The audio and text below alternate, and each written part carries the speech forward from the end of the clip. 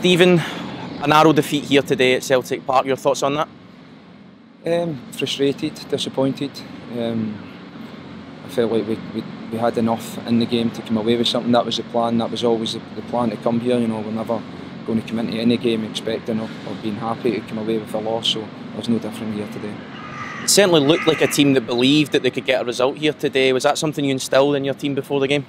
Yeah, it has to be. It has to be. Obviously, we're playing against. We, we understand what we're up against. It's a, it's a Champions League team and squad, and we've got you know resources available to them. But that's that was never an excuse or anything there. But that is real, realistically where we're at. But um, I felt today, yeah, if we, I think if we believed a little bit more at the end, especially that, that, that we could, you know, the chances we create, like we touched on before the game, if we're a little bit more clinical with that, then we could have come away quite easily, come away with something today.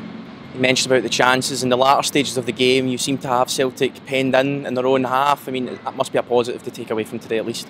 Yeah, we'll probably reflect on that and see that as a positive. I don't think there'll be many teams coming here and then Celtic, you know, running the clock down. Obviously, Ross goes in as well for his chance, and it's a it's a it's a good red card from their point of view. But we're putting putting pressure on, stressing the back line, and trying to you know take the game to them whenever we could. Um, yeah, but yeah, the overall feeling just now is just one of disappointment. The winning goal itself has a bit of quality on its own. Is that is that a frustrating thing for yourself? It is frustrating because it was something that we've highlighted prior to the match at that exact corner where they take it quick, they miss out the first man, they use that second space at the edge of the box.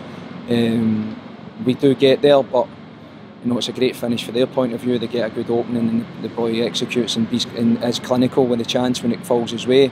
We could have defended it better, especially when it's something we've highlighted. But what it also does is shows you when you get the chances, you need to take them. You know, the big moments in the game, the small, small details is what makes a difference. The big moments in the game, we need to take advantage of them. We had enough chances there. You know, we should be coming away. You know, with, with a better, a better conclusion to the game. And a very quick turnaround now to our next game against Ross County.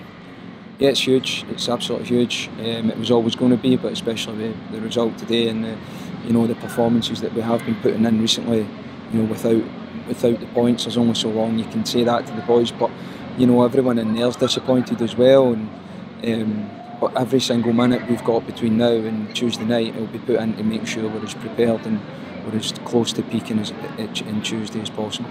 Thanks for your time, Steven.